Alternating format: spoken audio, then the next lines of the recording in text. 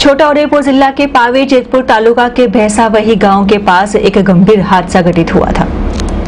मिली जानकारी के आधार पर छोटा उदयपुर जिला पावी जेतपुर तालुका के भैंसा वही गाँव बस स्टेशन के पास आज एक गंभीर जानलेवा हादसा घटित किया था, जिसमें स्विफ्ट कार एक पेड़ के साथ टकराते हुए, घटित हुए ये गंभीर हादसे के चलते कार में सवार वैसे चार लोगों में से एक शख्स को चोट पहुँचने के साथ अन्य तीन लोगों को गंभीर चोट पहुँचते हुए तत्काल रूप से उन्हें अस्पताल में भर्ती किया गया। जो ये कार पेड़ के साथ टकराने के साथ घटित हुए हादसे के कारण स्थानीय विस्तार में भारी अफरा तफरी का माहौल पैदा होते हुए लोग टोली इकट्ठा हुई थी, जिसके बाद तमाम घायलों को 108 के ज़रिए अस्पताल में भर्ती करवाने के बीच पुलिस स्थल पर पहुंचकर कार्यवाही जारी की थी।